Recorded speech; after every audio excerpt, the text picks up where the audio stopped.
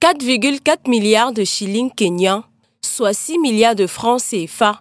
C'est le montant estimé de la mission des 900 soldats kenyans déployés en République démocratique du Congo dans le cadre de la lutte contre les rebelles du M23, soutenus par le Rwanda, selon les autorités congolaises.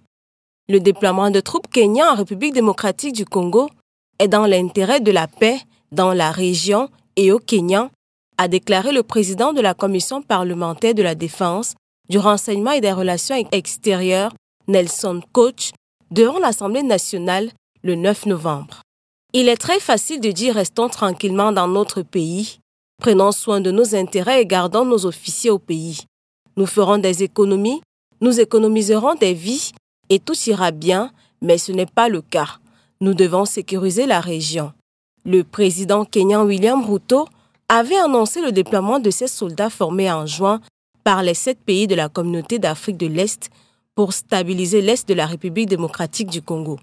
Le Kenya assurera le commandement de cette mission qui comprend également des soldats du Burundi, de l'Ouganda et du Soudan.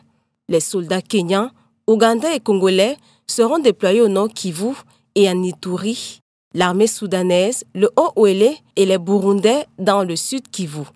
Selon l'ONU, au moins 188 000 Congolais ont fui leur village depuis le mois d'octobre et se sont dirigés dans des localités plus calmes au nord Kivu. Au moins 16 500 autres ont trouvé refuge en Ouganda.